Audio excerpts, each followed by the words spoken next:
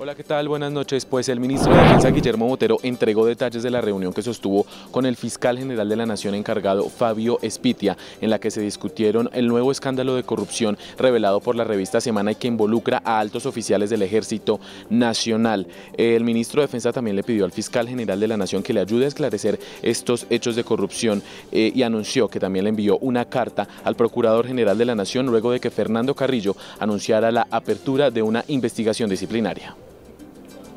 Estamos poniendo toda nuestra capacidad institucional al servicio de estos procesos con la certeza de que la acción de los órganos de control favorece la construcción de confianza con los ciudadanos y nos ayuda a cumplir esa misión institucional de defenderlos a ellos.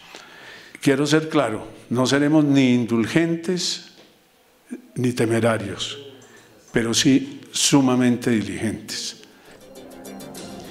El ministro también anunció que en las próximas horas se tomarán medidas administrativas a propósito de este escándalo de corrupción al interior de las Fuerzas Armadas. Es la información que registramos a esta hora desde el Palacio de Nariño. Carlos Reyes, Cabo.